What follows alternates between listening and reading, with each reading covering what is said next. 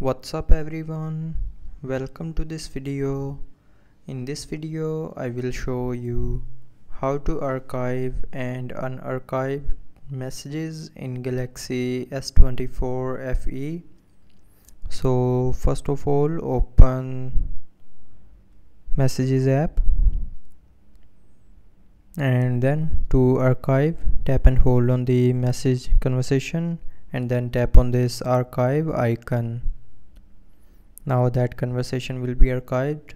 Now to unarchive tap on this profile icon then tap on archived and from here tap and hold on the conversation that you want to unarchive and then tap on this unarchive icon. So that's how you can archive or unarchive messages in galaxy s24 fe so i hope you liked the video thanks for watching